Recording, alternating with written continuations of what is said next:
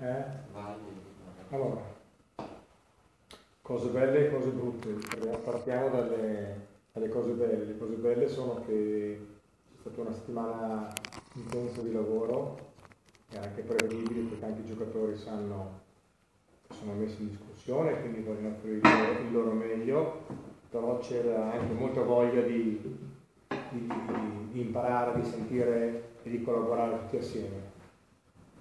E quindi abbiamo spinto, soprattutto nei primi tre giorni allenamento, anche molto forte a livello fisico e, e ci siamo così un po' conosciuti, devo dire che è stato 4-5 allenamenti molto proficui da questo punto di vista.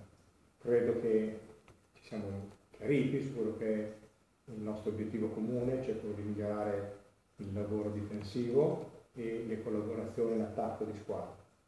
Invece di apparire una squadra che sia veramente più unita sia in difesa che in attacco. Da parte di tutti.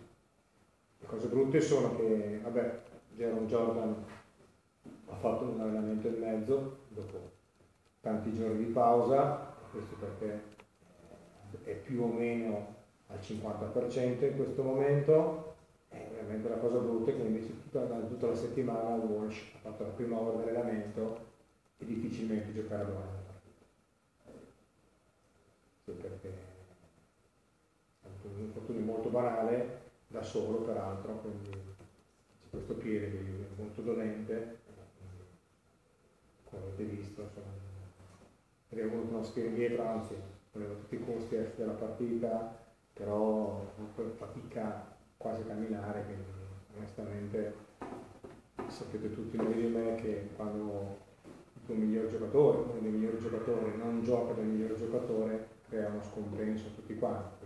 Tutti si aspettano che giochi da Matt Walsh, invece poi Matt Walsh non è, quindi credo che dovremmo essere tutti pronti a sopperire la sua assenza, facendo ancora qualche cosa di più.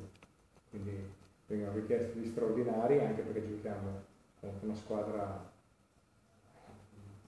che è inutile presentare perché sono tutti giocatori di altissima esperienza, sono campioni d'Italia, sono una squadra che ha 10 giocatori 10 e soprattutto che è una squadra estremamente atletica.